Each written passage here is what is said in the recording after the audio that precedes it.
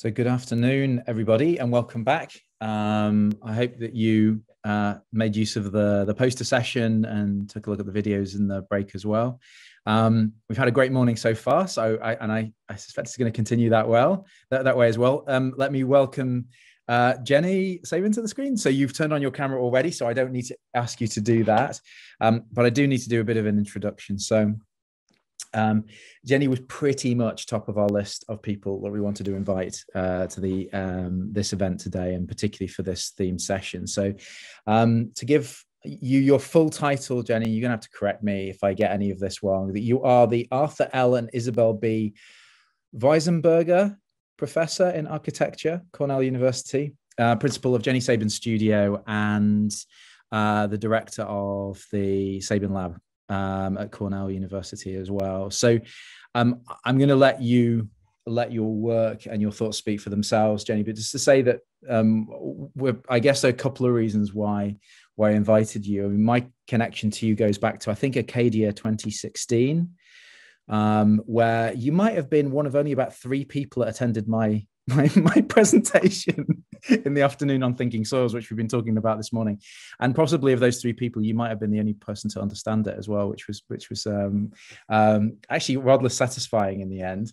Um, I guess for, from our perspective, um, one of your most important contributions was the book that you you co-authored with Peter Lloyd Jones, and I actually have it here. This is a very oh, I get if I do it in front of me, we can see it. So this is still available if people want to buy it. We've been doing a lot of book promotion today. Um, this is kind of a canonical text for us, which is why this version has been so well thumbed and there's notes and things in it all over the place. Um, it was hugely inspiration when I was starting out in in this field, bringing design research with biology, but in ways that I think are more interesting than sort of biology, uh, architectural design copying from biology, but understanding the deep principles of biological systems and complexity and turning those into new ways of thinking about design, not only in architecture for the built environment, but also ways of thinking about biology itself. And, and it was that merging of the fields that I think is um, is is very rare, if not actually unique in in our field so far. So we were really excited to to bring you here today. Um, I can invite you now to share your screen. Great, thank you so much. And we'll see if this works. This is always slightly nerve wracking at this point.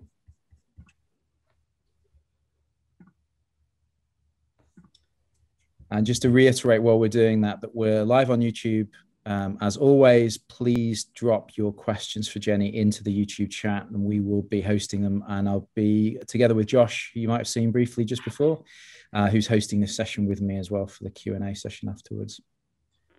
Great. Um, can everyone see this full screen? Not yet. Okay. So there's no, we haven't seen anything shared yet. Right, let me uh, reshare here.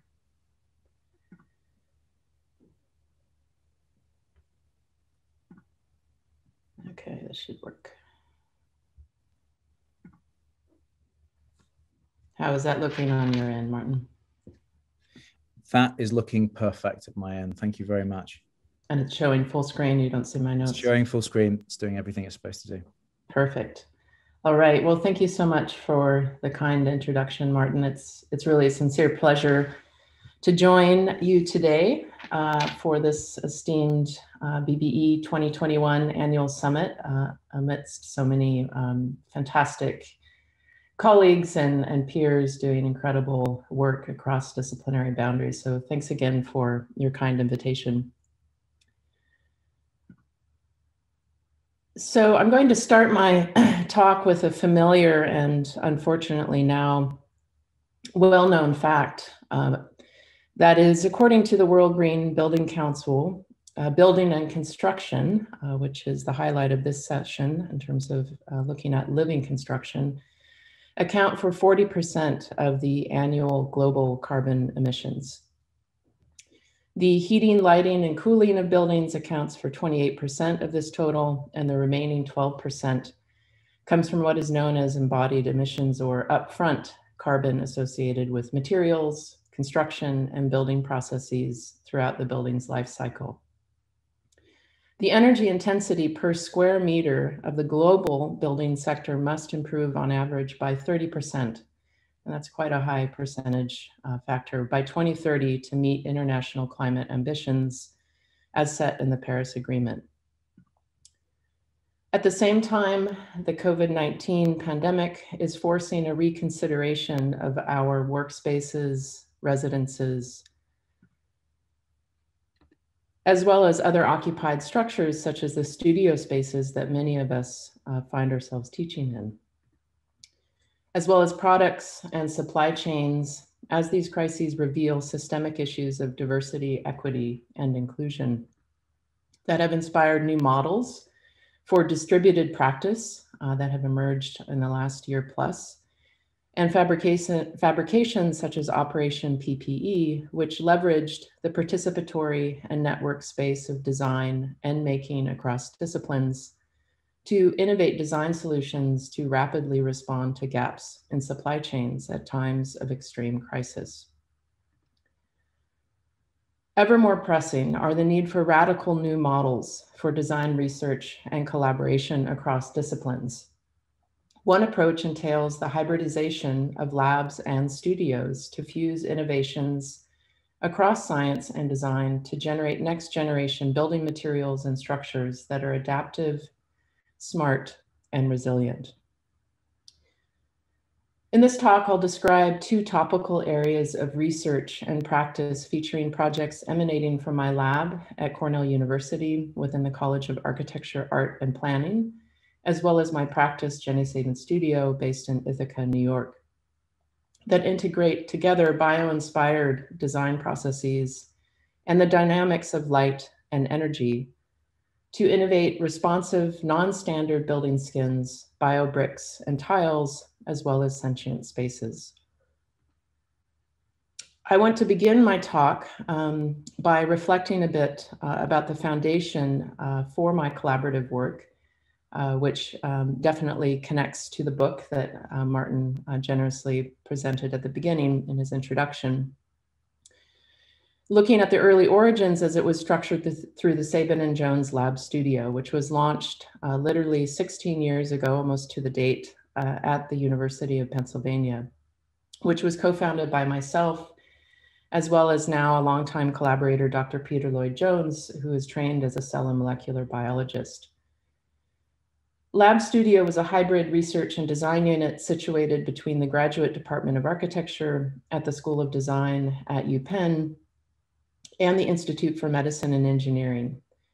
Within Lab Studio, and this is a, a, photograph taken on actually the first day of a course that Peter and I taught titled Nonlinear Systems Biology and Design uh, that brought together graduate architecture students as well as postdocs and fellows in the biomedical sciences, as well as students across other disciplines, uh, including the history of the sciences and beyond. Within Lab Studio, architects, mathematicians, material scientists, and cell biologists actively collaborated to de develop, analyze, and abstract dynamic systems through the generation and design of new tools. These new approaches for modeling complexity and visualizing large data sets were subsequently applied to both architectural and scientific research. The real and virtual world that Lab Studio occupied has already offered radical new insights into generative and ecological design within architecture and also provided new ways of seeing and measuring how dynamic living systems are formed and operate during development and disease. Overall, the driving mission of Lab Studio was to produce new, mo new modes of thinking, working and creating in design and the sciences through the modeling of dynamic, multi-dimensional systems across multiple length scales with experiments in biology, applied mathematics, making and, and fabrication, as well as material construction. We also focused on a transdisciplinary design model. Um, and these are definitions brought to us by Marilyn Stember, as well as Alexander Jensenius, um, uh, with references at the bottom of the page here, where they sort of unpack these different um, terms that we frequently uh, confront, uh, where we see intradisciplinary as working within a single discipline cross-disciplinary, viewing one discipline from the perspective of another, multidisciplinary, uh, people coming together from different disciplines, working together and drawing upon each other's expertise, interdisciplinary, uh, looking at the integration of knowledge and methods from different disciplines and using a real synthesis of approaches. Whereas in the model that we co-generated, um, takes up this term transdisciplinary, which we see as problem and knowledge generation through the collaborative design research process, where these processes are emergent, transforming, and evolving for innovative applications spanning disciplines as well as disciplinary frameworks. This also includes fundamental concepts and methods and design and emerging technologies across the design arts, engineering, and science to importantly prepare students with the necessary tools and knowledge for iterative, hybrid, and synthetic thinking in design and making across disciplines. We also took up this uh, important tenet that nature is resilient, it is not efficient. Um, and we'll look at a few models that we explored uh, in this context. And these were some of the processes um, that continue um, to inform uh, my collaborative work and research that were very much a part of the foundation uh, for Lab Studio as a generative methodology and approach. Um, the co-investigation of dynamic complex systems, exploring nonlinearity and hierarchical relationships, placing an emphasis on the importance of environmental context, and I'll unpack uh, context uh, specifically in a moment. And when I reflect upon the last 16 years of work and specifically uh, what Lab Studio uh, produced, I think the most important application or deliverable that we developed uh, was a truly shared process, a truly collaborative space. Because as we all know, it's easy to drop all of the buzzwords, innovation, cross-disciplinary, et cetera. But when you, we get down to it, it's really hard to collaborate across disciplinary boundaries. We have different structures in place for how we lead our days, how we procure funds, how we publish, how we teach, um, and so on. And so developing that truly collaborative space of trust, of shared relationships uh, was something that I think was incredibly important from the very uh, beginning. And that allowed us to filter through and analyze abundant information, making sense of data, looking at data in new ways, which contributed to the development of new methodologies and metrics uh, to move fluidly from the qualitative to the quantitative.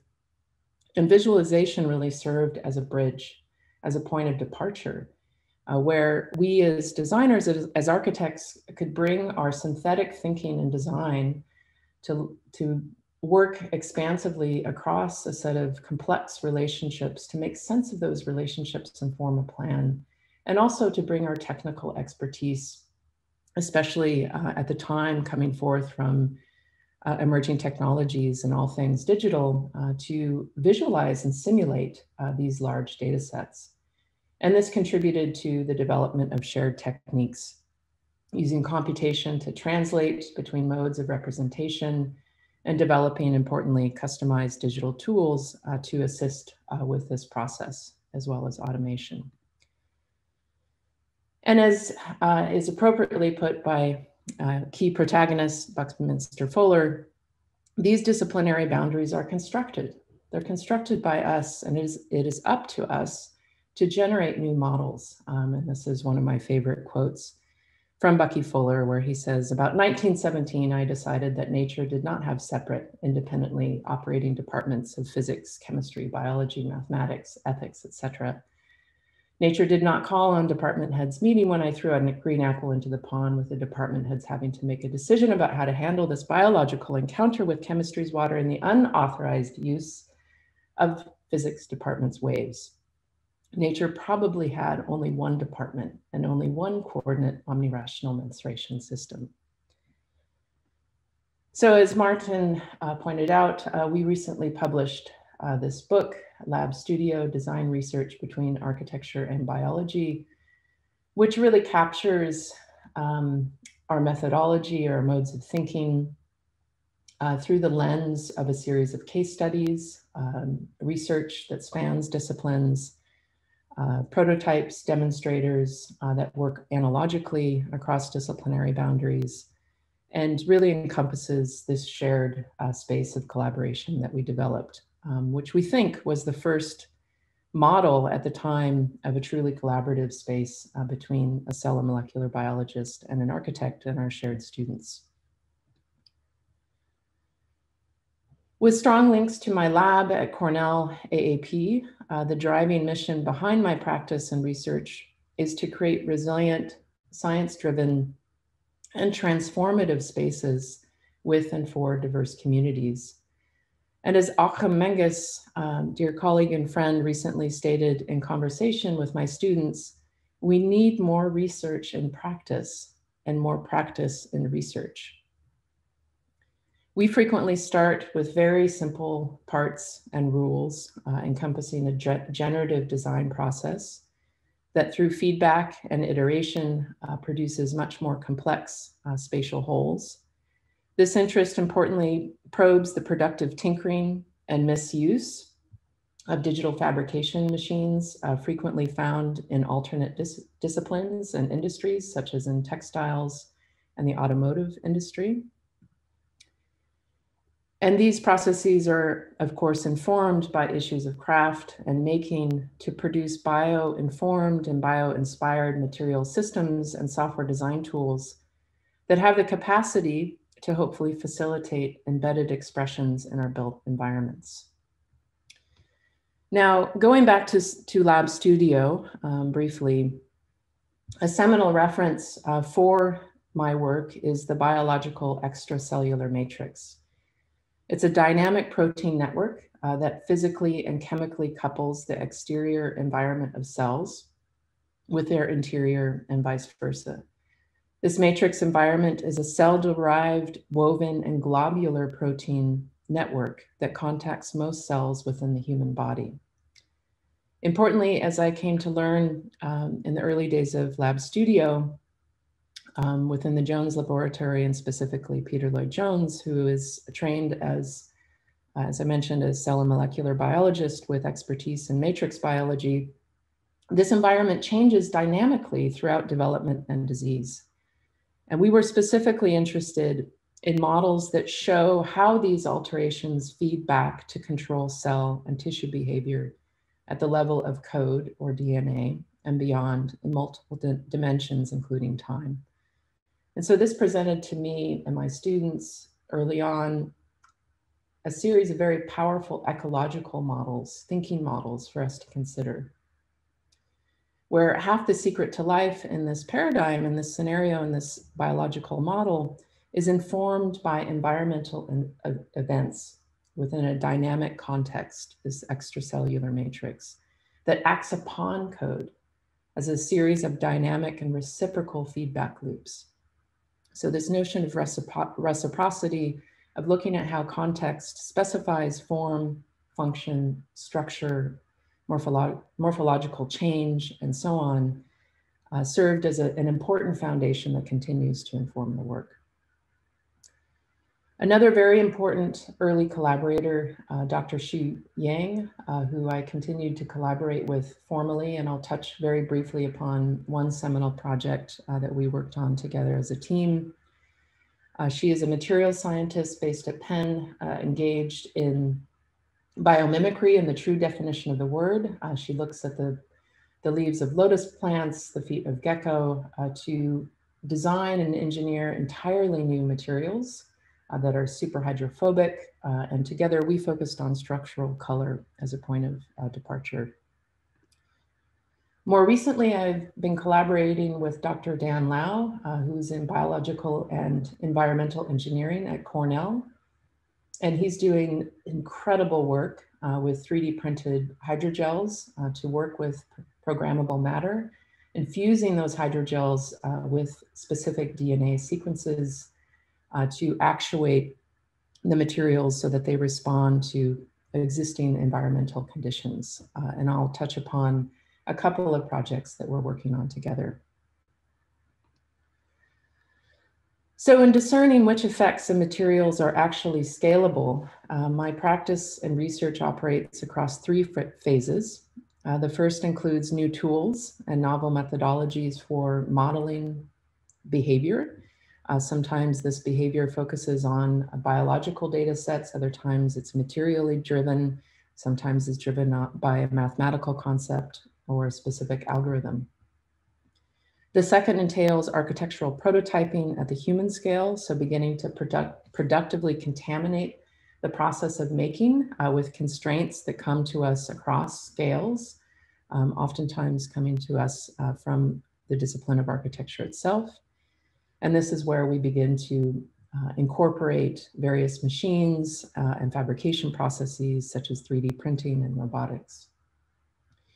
And then finally, uh, some of these successful prototypes are brought into the realm of buildings and the topic of building ecology. So it's a purposefully slow process to work in a rigorous fashion and to meaningfully grapple with the problem of scale. Not all of these models and concepts and constructs are scalable.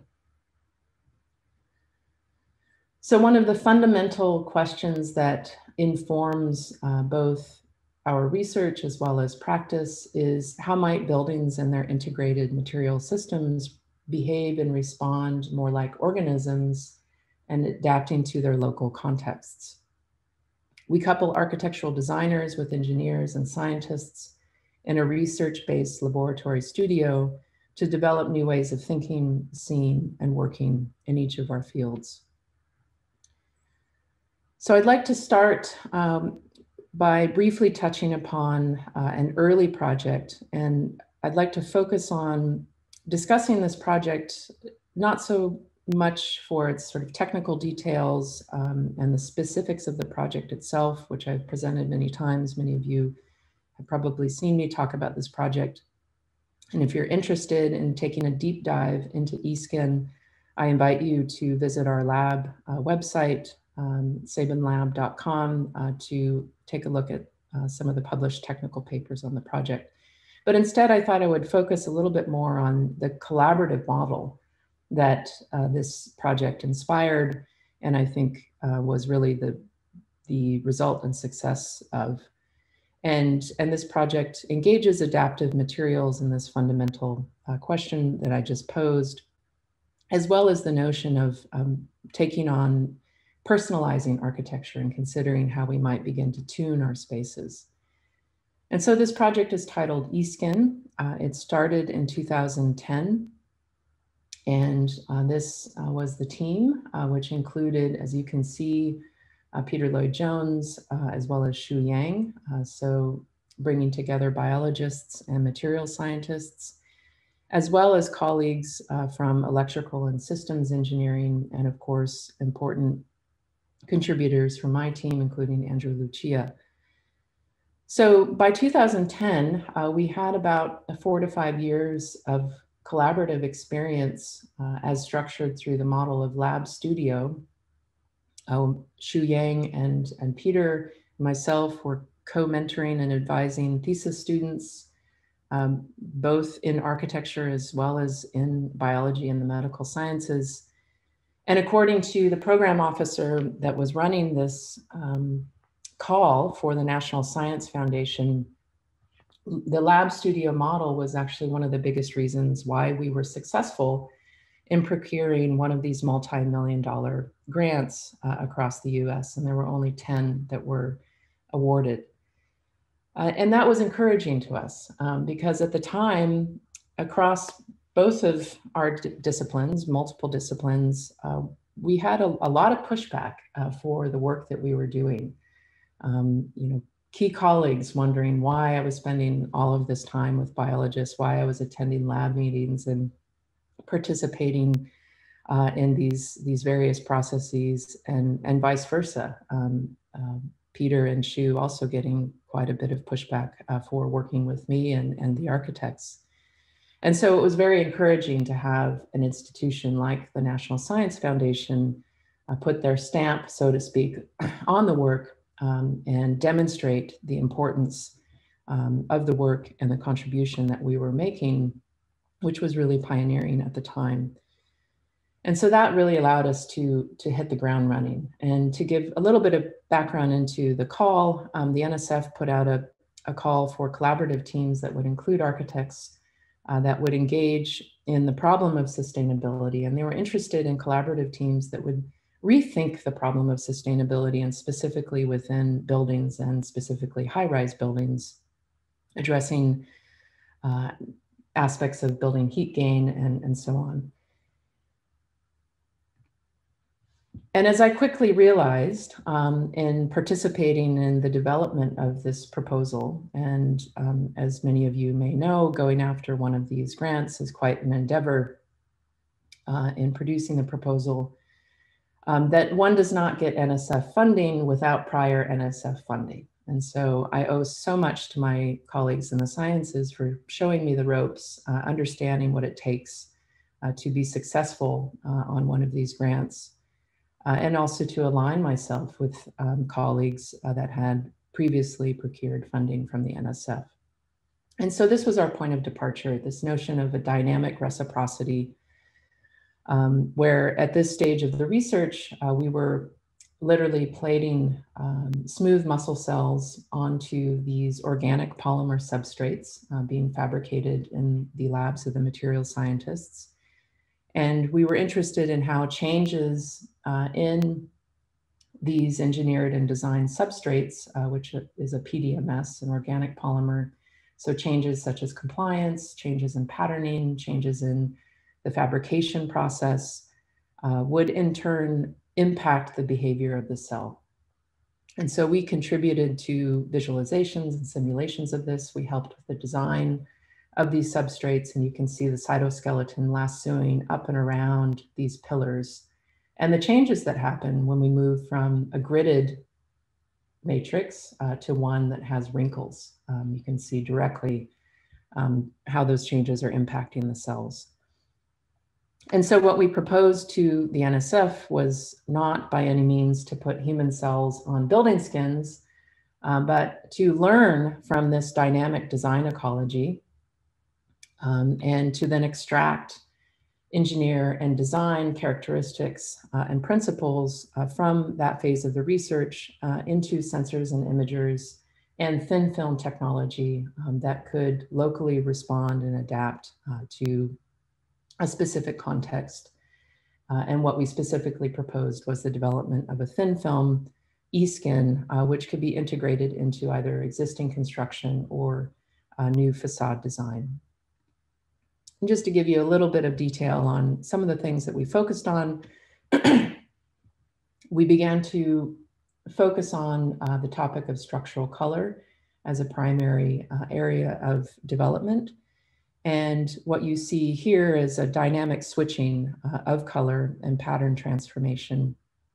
And it's an example of a predefined geometric pattern, in this case, holes or pillars uh, embedded within a shape memory polymer uh, material um, that's displaying structural color change uh, under deformation and recovery. And so as many of you know, structural color change is, is not pigment based. There are many examples and models found in nature, such as the blue morpho butterfly wing. Uh, and so when these materials undergo uh, mechanical transformation, I st slightly stretch the material, these holes and pillars begin to change their orientation and light interacting with that specific wavelength will then in turn um, cause a dynamic switch in color or transparent, a dynamic switch from transparent to opaque. And importantly, we perceive those changes uh, as a part of that dynamic uh, transformation. And so we began to develop a whole series of prototypes harnessing these optical properties for real-time interaction. Um, we had to develop our own rendering software uh, to work with the complexity of the eSkin data. And what one of the prototypes that we were most proud of, this took two years uh, to make um, from scratch, working collaboratively at the lab and studio benchside. The second prototype, uh, which exists at the human scale, aims to advance speculative design trajectories uh, within the eSkin project as, as a physical, interactive, and scaled component prototype whose properties behave in a comparable manner to those observed at a nano to micro scale, but which can be fabricated at a human scale. And so, as I mentioned, not all of these materials are scalable. Uh, we quickly found that the PDMS E-skin material uh, would be incredibly laborious if we were to fabricate a full swath at the scale that you see here, and also incredibly expensive. And so we began to work with another material that exhibited the same characteristics uh, in terms of transformation, dynamic switching from transparent to opaque and color change and so on, which entailed working with nano colloidal particles uh, within a sandwich of ITO glass or, or conductive glass. And again, I invite you to take a look at the technical papers for this project, uh, which were published um, actually now many years ago. And this is, is where you know, our vision uh, continues to be in terms of how the eSkin could operate um, at a building scale. More recently, in building upon uh, this project, um, in designing dynamically with light and energy, and specifically working with the topic of structural color as informed by biological processes, we've embarked upon a unique collaboration with the Defect Lab, uh, which is based at Arizona State University, uh, and specifically working with um, my colleague Mariana Bertoni, to innovate uh, the design and engineering of building integrated uh, photovoltaics or BIPVs uh, through computational design and 3D printing. And we're focused on uh, the generation of highly customized, uh, non-standard filters and panels uh, that result in site-specific non-mechanical tracking solar collection systems and the project, which is titled uh, Sustainable Architecture and Aesthetics, Emergent Design for High Performance Solar Panels, uh, is funded by the National Academy of Engineering as well as the Grainger Foundation. We began uh, together uh, with a focus on biological adaptations, uh, including uh, taking a deep dive into the heliotropic mechanisms in sunflowers and the light scattering structures in lithop plants for non-conventional configurations of panels uh, for designing with light and energy uh, to maximize energy conversion efficiency. And as many of you know, um, integrated building photovoltaics are often an afterthought. Um, they're not considered as an integrated part of an architecture design process. And so we're attempting to rethink that and to design uh, more dynamically with the behavior of light, um, but also to leverage a contemporary fabrication technologies such as 3D printing to control orientation and light scattering and, and so on. And so our proposed approach overall um, follows solar path data and omits the typical 50% additional structural metal and 30% copper cable uh, per module which significantly decrease, decreases the carbon intensity by 15% uh, for the case of an installation in the Southwest of the United States. We're currently working on a demonstrator uh, prototype pavilion, uh, which we've titled Agrovoltaic Pavilion. And this demonstrates what we think is one of the first adaptable systems uh, for BIPVs uh, that features extremely low greenhouse gas emissions and showcasing the potential of sustainable design for a resilient land use model um, and possibly to integrate a, a, new approach for the production of food, energy, and water. Related to the multiple years of uh, investigation into the integrated design with light and energy, um, oftentimes biologically informed and with a specific focus on structural color, in my practice, uh, we recently completed uh, Polyform, uh, which was a project uh, commissioned by the College of Human Ecology on Cornell's campus. this is now a, a permanently installed pavilion structure uh, that started in 2013 and so was an applied practice project uh, that really followed in parallel the research and allowed me to experiment um, and push scales uh, in, in some interesting ways. And so Polyform engages uh, personalized architecture uh, through design science uh, at the center of human ecology and, and, in many ways embraces the mission of the college. Um, it's a permanent public installation of four perforated uh, crystalline metal forms framing a high trafficked thoroughfare on the campus um, for Cornell University. Structural color is achieved uh, with a dichroic or wavelength dependent thin film uh, laminated to uh, tempered glass panels. And light reflecting from and refracted onto the film changes color and grows warmer or cooler, more opaque or transparent, and is not based on pigment as we just discussed, uh, but in how the film selectively interacts uh, through interference or reinforcement of certain wavelengths of light uh, at the microscopic uh, scale. A key component is how we also perceive these subtle uh, to dramatic changes of light and color within the material uh, itself. And this uh, just recently opened um, and uh, is now open to the, the public uh, on Cornell's campus. And I would like to share a, a video that we, we just completed um, that Cornell put together and it, it really captures a lot of the ethos and mission uh, for the project.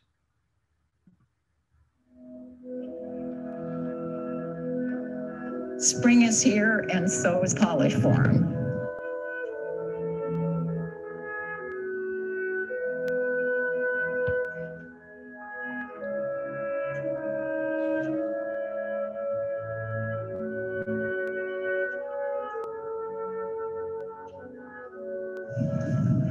so exciting. this project started in 2013, so this is a big moment.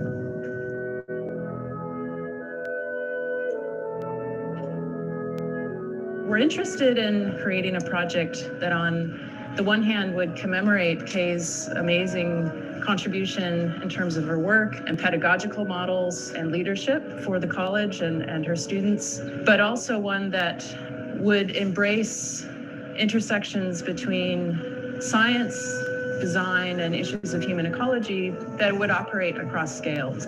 This structure says to the people walking by, here is human ecology. Come see what they're doing here. And this is a lively, vibrant place with a rich history. And certainly that encompasses the legacy and history of this college being part of the land grant side of, of the university.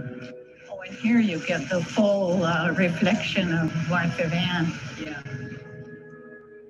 Coming up West Path is a perfect way to see the structure and be invited into the pavilion and seeing people come up to it. Some go in, some go around. The most important part is seeing people interact with it. And that for me is, is success. You know, the just the sheer joy and wonder and the inspiration that it plays and just creating a moment of pause in one's day is what we hope for. So. Yes. the project has inspired, I think, a number of, of different types of exchanges, which has been I exciting. Think, I think we have bigger visions of how a design from across the whole campus can come together. And uh, I think that that's been facilitated by our interactions. And so that's the thing of it always changing. Yeah. It's never the same. No, never. That's it. Just like human life.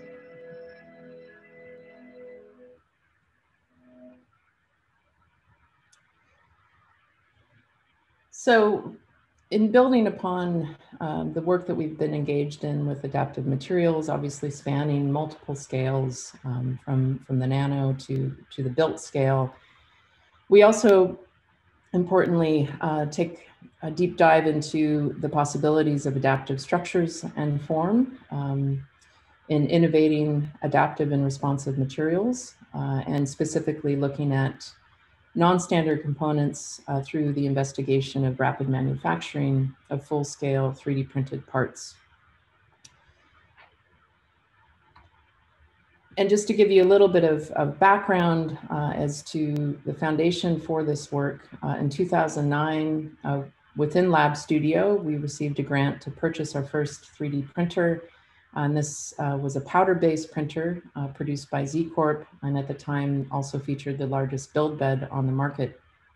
And we were interested in working with the 3D printer, not as a representational tool, uh, but as a way of rapid manufacturing one-to-one scaled parts and and also importantly to look at the promise of holding data. And this was in the context of my work with Peter and how in scaling up these uh, parametric models of biological data sets, uh, obviously as, as an analog, as a translation, uh, but closely uh, depicting their um, actual uh, representation in terms of uh, multicellular SNI structures, how holding that data, these 3D printed parts, uh, could contribute to the scientific process, allowing the scientists to project into um, the problem in a new way and, and to ultimately inform the generation of a, a, a hypothesis, for example.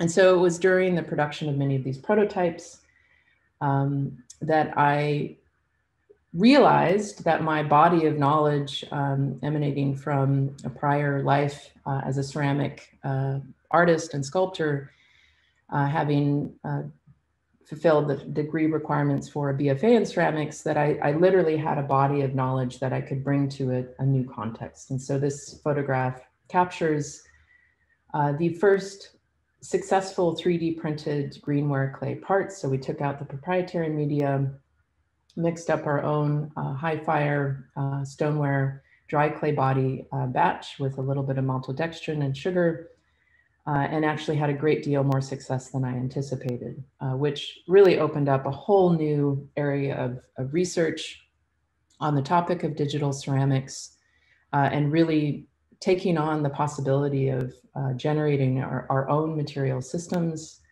um, and productively tinkering and, and mis misusing uh, these fabrication machines uh, towards various research endeavors. And this has led to a series of seminars and option studios on the topic of digital ceramics, uh, representing over a decade of research, uh, innovation, and teaching. And in my lab, we have focused primarily on uh, bricks, um, specifically a multi-year research project uh, titled Polybrick, and this is uh, Polybrick 1.0, where in the, the context of 3D printing, we can work with non-standard components where every single brick is different. And the making of bricks has not changed uh, for many, many, many years.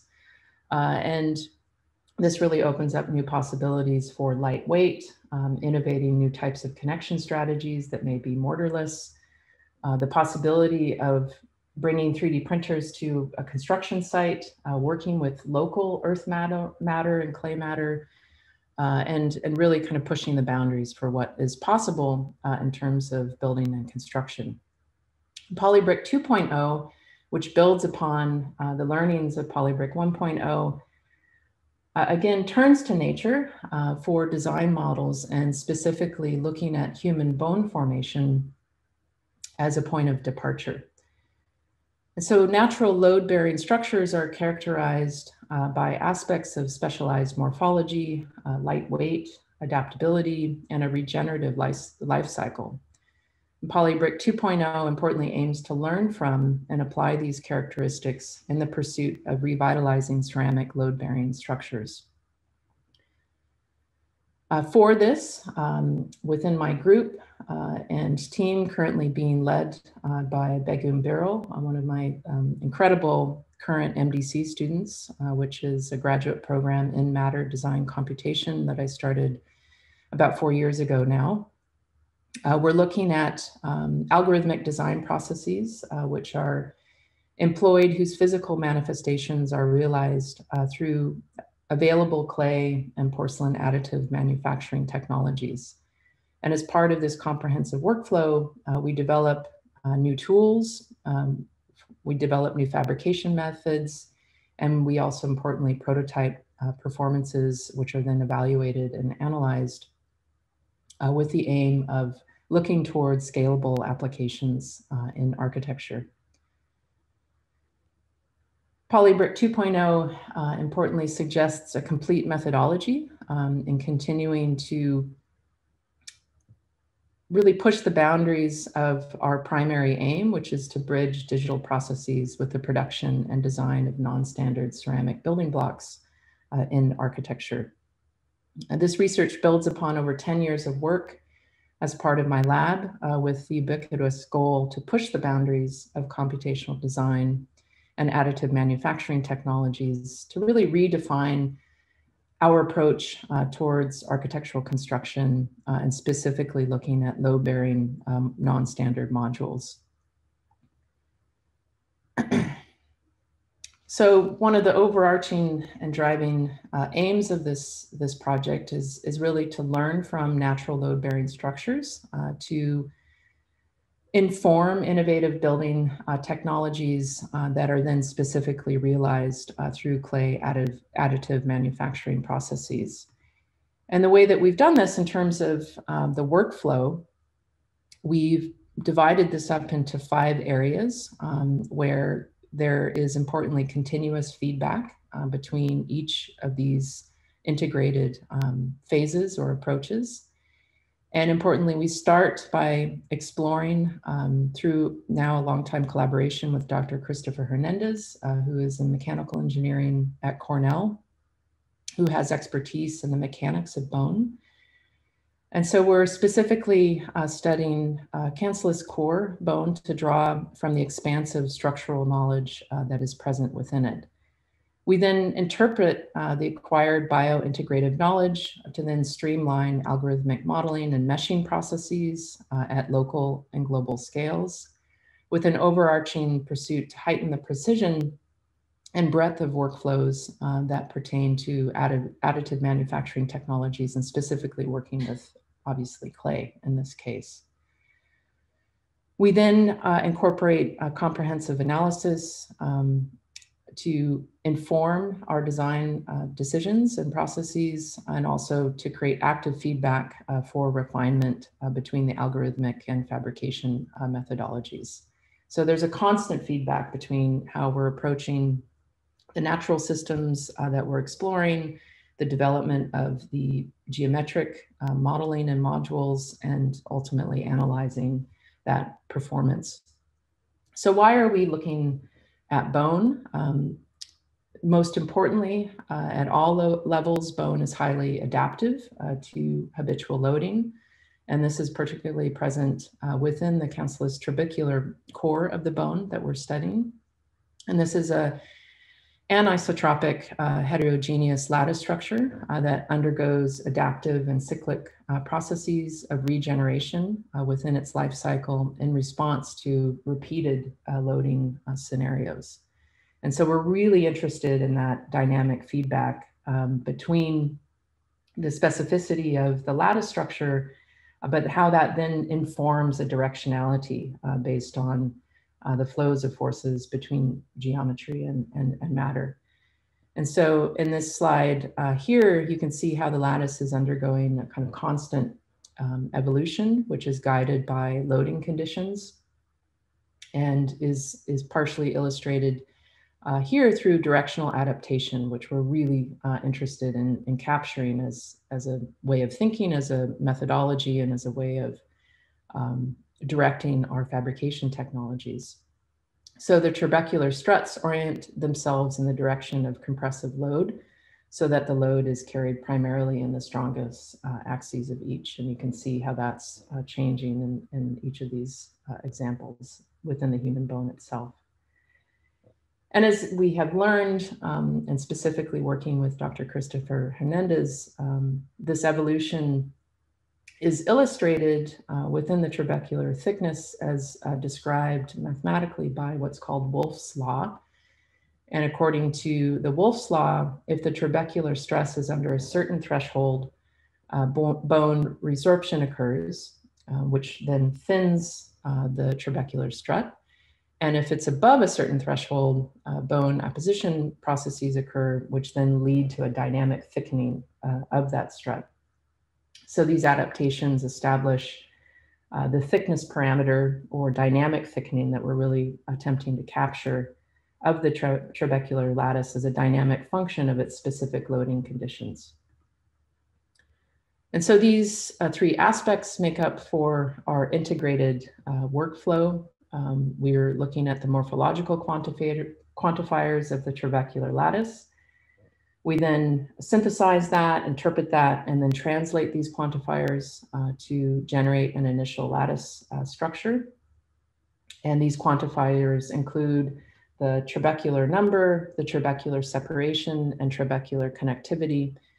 And in order to translate these parameters uh, to a, um, a, meaningful and controllable structure, my team's also been working on um, a, a, really comprehensive algorithmic strategy, which is primarily based on uh, sphere and ellipsoidal packing, uh, where there's a direct connection between the packing behavior and the struts um, as defined uh, through a series of connections between the centers of the spheres uh, and the, the tessellated um, mesh structure. So here you can see an animation of the sphere packing uh, where we can see the spheres growing and moving uh, and the lattice uh, changing accordingly. I'm not going to go into too much detail here, but if you're interested in taking a deep dive, um, again, I invite you to take a look at some of the recent published papers on uh, Polybrick 2.0. But this slide highlights an important uh, phase of the work uh, where we're introducing uh, directionality to control how forces are flowing through what is called a tensor field. And this is defined uh, by a field of three orthogonal tensors at each point, uh, defining the min, uh, mid, and max principal stress directions and magnitudes uh, within the analyzed global design geometry. And within my team, we've been fortunate to work with some incredible students within Dr. Christopher Hernandez's uh, lab uh, coming from engineering, who have really focused on the simulation work, specifically working with ANSYS, in which uh, you know a perceived load is applied to an initial global geometry, and then we're able to analyze that accordingly. And then lastly, which is also an important part of the process, um, here we're beginning to bring in dynamic thickening, um, which relates back to the Wolff's law, which I just described, where in this case, we're making a comparison between the tensor field and the lattice. Um, and so this is how the struts are then uniformly uh, or dynamically thickened uh, through the algorithmic uh, process. So as these diagrams uh, highlight uh, the kind of key points uh, within the computational design process and importantly in line with the bone as precedent, we create an adaptive thickening process, which gives each strut a unique thickness based on stresses. And this process runs iteratively, and in each iteration, we then analyze the max stress uh, of each uh, strut area. Um, and then that informs the dynamic thickening within the lattice. We also engage, uh, obviously, in performance analysis, um, assessing the non-standard versus the standard. And the results of our simulation importantly show uh, the ellipsoid packing lattices uh, with a higher stiffness per volume ratio um, with 11 out of the 14 standard lattices um, that were uh, compared to each other. So the, the big takeaway here is that building with holes, um, uh, lightweight, uh, and so on is incredibly resilient and robust. And of course, we see that everywhere in, in nature. So just simply thickening uh, material is, is not uh, necessarily uh, the answer. So these results were incredibly exciting, which then informed a whole series of fabrication strategies, uh, beginning with physical prototyping uh, to compare uh, with the simulation models, starting small, specifically working with porcelain, um, incorporating compressive analysis to test print accuracy, uh, and we were in this stage of the process working with the Formlabs uh, printer and Porcelite. Uh, but obviously that presents a scale issue. Um, and so in the last year and a half to two years, uh, we've been innovating uh, custom end effector design uh, for multi-axis 3D printing through an industrial robot in my lab where we're importantly embedding information uh, regarding these new print constraints such as bridging, dynamic thickening, um, changes in the geometry, uh, and so on. And uh, literally this summer, uh, Begum and my team in the lab are printing at full scale um, a series of demonstrator bricks uh, for a hypothetical wall uh, for Polybrick 2.0. And this just gives you a sneak peek into some of those successful uh, results uh, that have come forth in the last uh, couple of, of months. I'm just taking a look at the time here. Um, and I just want to touch upon this last project, which I think is, is important, but I know that we want to have some time for, for questions uh, and Q&A. Uh, so Martin, how are we doing on time? Um, we're, we're, we're running a little bit over, but we can also run into the break a little bit for Q&A as well. So, so I'm keen that you share this project with us. So carry on. Okay, great. Sounds good. So in other iterations of Polybrick, uh, we have, and this is Polybrick 3.0, we've been directly working with DNA uh, to achieve living glazes uh, to control specifically uh, fluorescence. And this is in collaboration uh, between my lab and uh, Dan Luo's lab, um, who I mentioned at the beginning of my talk, where we're exploring the potential of designing with light and energy, again, as a primary focus, uh, but in this case through living programmable matter or DNA steered materials. In an initial project, um, and also importantly in collaboration with Luo Labs, we explored uh, dynamic DNA material with emergent locomotion behavior um, powered by artificial metabolism. And this is documented in our, our recent paper uh, in Science Robotics, um, which looks at metabolism as a key process that makes life alive. And this is importantly a combination of anabolism and catabolism, which sustains life by a continuous flux of matter and energy. So in other words, the materials comprising life are synthesized, assembled, dissipated, and decomposed autonomously in a controlled hierarchical manner using biological processes. And so this early project really informed a number of the current trajectories that we're taking uh, with Polybrick uh, 3.0. Um, and so I invite you, just in the interest of time, I'm not going to go in depth into this project, um, but there's some pretty amazing things that we've been able to uh, develop uh, collaboratively in the context of a synthetic metabolism uh, and the, the possibility of the construction of dynamic materials in a, a synthetic uh, fashion. Uh, and so this, this project really harnesses a bottom-up uh, construction of dynamic biomaterials uh, powered by artificial metabolism, uh, representing a combination of irreversible uh, biosynthesis and dissipative assembly processes. Uh, and we, we focus primarily on the guided design of these pattern structures and importantly, the computational simulations um, bringing in CFD analysis uh, to understand how these matrices were behaving and comparing those to the actual experiments. So building upon this work um, and the expertise in programmable matter, biomaterials, and DNA steered nanomaterials, and of course, um, our 11 years plus of design research on 3D printed non-standard clay components, Polybrick 3.0 explores programmable biofunctionalities um, in constructed architectural environments uh, through the development of advanced ceramic biotiles. And specifically, um, what we're looking at is the integration of and potential of programmable uh, biofunctionalities uh, through the development um, of a one-to-one scale 3D printed ceramic tile. And so we're working at scale here, which is really, really exciting.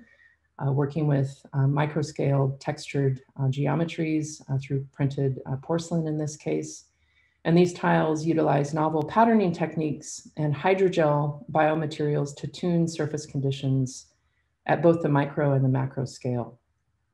And so what we're specifically doing is plating hydrogels uh, infused with a specific DNA sequence that in the first phase, we're just controlling um, the emittance of, of light or, or fluorescence uh, within the biotile itself.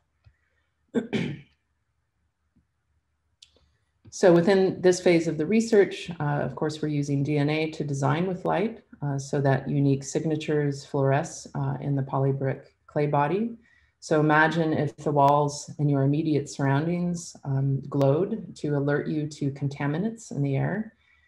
And the second phase will focus on adaptations to the local environment, including proteins, that these DNA sequences can uh, respond to and ultimately potentially particulate matter with the aim of cleaning the surrounding air and reducing uh, pollution uh, overall.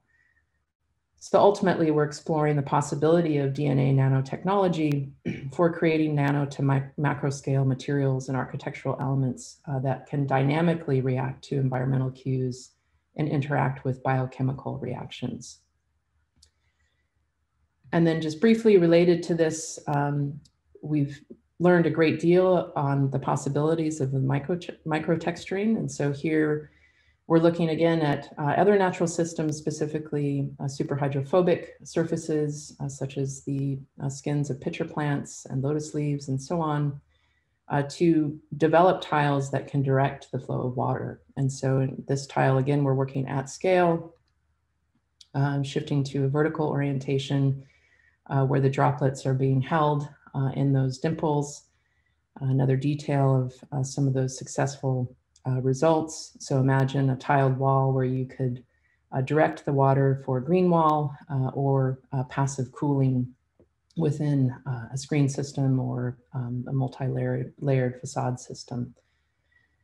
So in the interest of time, I'm going to conclude um, just with a video, but I'll, I'll, play it in the background and then we can, um, if we have time, open it up for, uh, for questions. Uh, but I, I had one more project I wanted to show, but I'm, I'm going to end it here. And um, I've given you a kind of summary of our work, I described the foundation for the thinking, kind of ethos of our, our mission. Uh, and I, I, really invite you to either visit jennysabin.com for the the work emanating from my practice or uh, sabinlab.com uh, to take a look at uh, what we're doing uh, ongoing in the lab and the published papers that we've developed over the last uh, 15 years plus. Um, but thanks so much for your attention and for joining us this morning and importantly for uh, the invitation to join you this today for this important summit.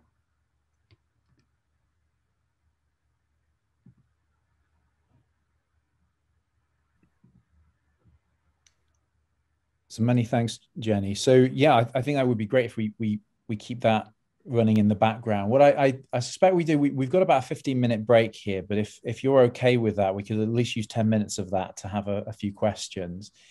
Um, we've got some things coming up through the YouTube chat that might also uh, will get fed through to us, and we might also use. But it would be great if you could uh, we'll share with a link for the YouTube chat so you can go and maybe give some direct answers to some of that stuff as well over the next session. If you're able to stick around, that would be fantastic. Absolutely. Uh, um, a fantastic presentation and uh, so much to get into. Um, I've asked uh, Jane Scott to join us, not Josh as I previously advertised. Josh will be in the final session. Apologies, Josh. Apologies, Jane. Um, uh, but maybe Jane, you could get kick off with some some kind of general thoughts or, or questions for for Jenny. Oh, hi. Yeah. Thank you so much, Jenny. That was um, fabulous. Um, really inspiring um, presentation. Um, I think kind of after watching the whole presentation, what um, emerges straight away to me is kind of the diversity in the projects that you're presenting and the diversity both in terms of fabrication and in terms of materials and inspiration. And I really wondered um, if you could talk about kind of how the trans how the kind of general principles how the design principles emerge that become transferable across these projects or whether each um, kind of each area has its own set of um, its own set of rules and techniques and that that are less transferable across. Yeah thank you jane. Really great question. Um, i mean I, there are there are some themes and concepts that obviously translate across the project. So our ongoing focus on designing dynamically with light and energy, uh, how that informs you know, the dynamic switching of, of color, but also moving from transparent to opaque, and how we can then leverage that work towards specific applications that touch upon issues of sustainability, for example. And you know, my expertise is not within environmental systems or sustainability, but we end up touching those important topics um, through the way that we work, uh, which is materially driven, uh, working across disciplines, um, generative.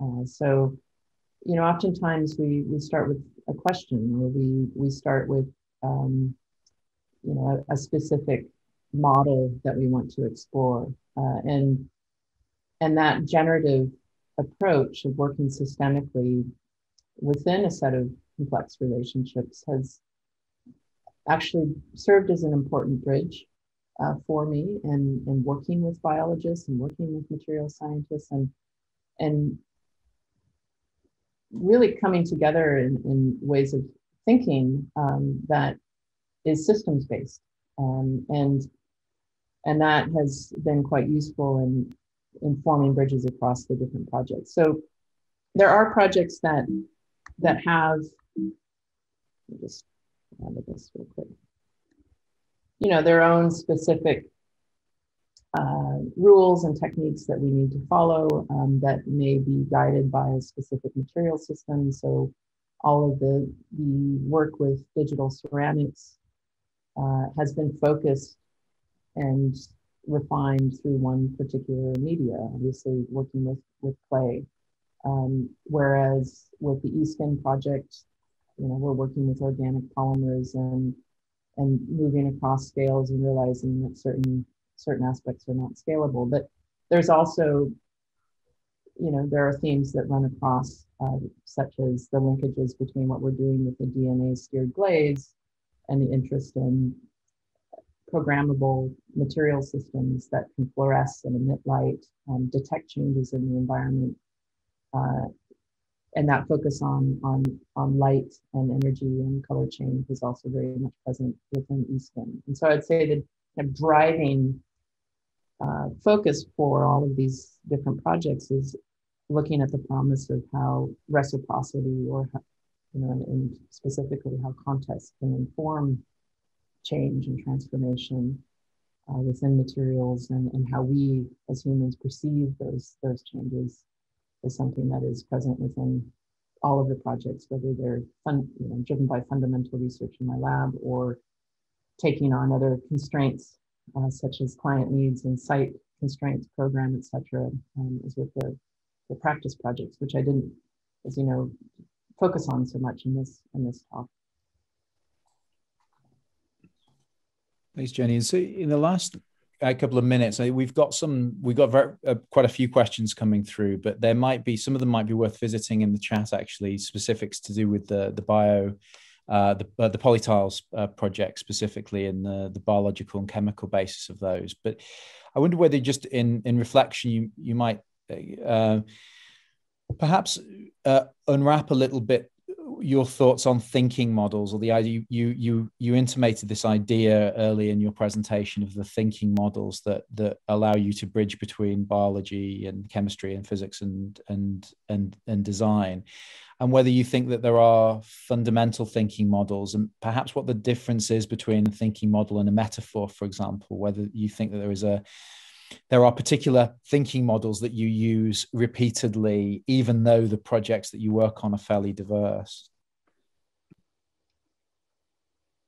Yeah i I think for well within my my group and how we approach a research question, we we never we never start with you know a specific problem or a specific application. And and that that's often you know that's often the hardest thing to teach uh, you know in, in in my studios and seminars. And that's frequently also difficult to convey within the research team, especially for, for new research associates, uh, which is a, a, letting go of, of needing to know like what that target is. Um, and, and that's presented, you know, a, a, paradigm that has been, I think, really fruitful um, as a way of, of thinking. And, and that generative model for thinking opens up problems, right? So we focus, as I mentioned early on in the talk, on, on problem generation uh, as we work across uh, disciplinary con constraints and um, you know various parameters and, and so on. And as we move forward within a project, new constraints come into the fold that begin to steer it towards a specific application or you know a, a specific contribution to to the to the sciences and we i mean the tools that we develop oftentimes are informed you know they're informing directly the scientific process and to be able to operate as a designer as an architect at a radically different scale and to contribute something is is you know equally important to the the architectural potentials of what this work uh, provides.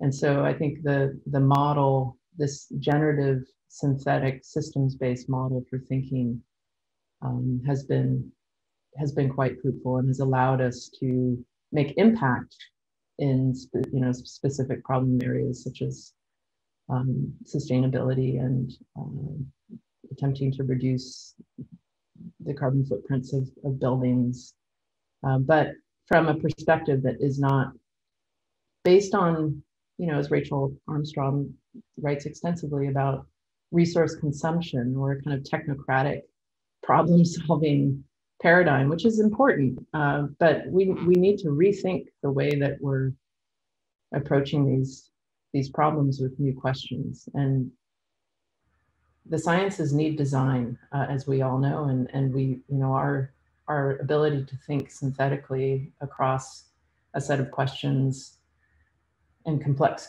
constraints and relationships um, to work comprehensively to form a plan that mode of thinking is incredibly relevant right now. And and so i that's what i tell my students in terms of you know going out into the world and making impact. Um, but a generative systems based model for thinking across disciplinary boundaries has been um, really fr fruitful for us over the years.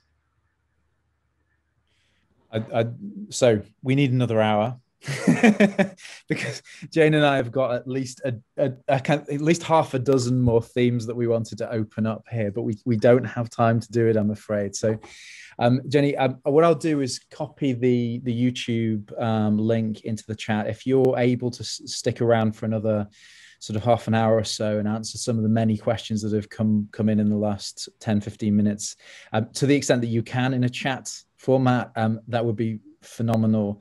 Um, I'd love to talk a lot more about all of this stuff, um, but as I say, we, we have to move on. But thank you so much for a really, really inspiring talk and um, for joining us today. It's been, um, yeah, it's been absolutely uh, inspiring, and I'm full of ideas and buzzing as I always am when we've we've heard from you, Jenny. So thank you very much. Well, thank you so much, Martin and Jane, and, and to everyone for the invitation. It's it's great to be here today. I'm doing you know some phenomenal work, so I look forward to staying in touch.